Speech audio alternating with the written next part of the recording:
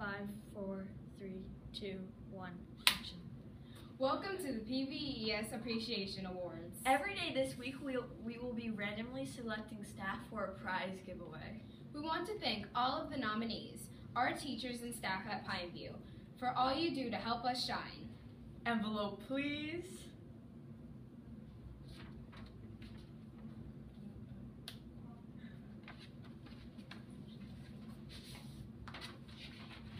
And the winners for a supporting role in our future are Mrs. Stafford, Mrs. Probst, Mrs. Lopez, Mrs. Sarabia, Mrs. Walden, Mrs.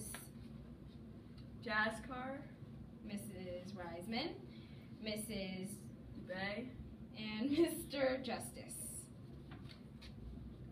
Remember to tune in tomorrow morning for more giveaways.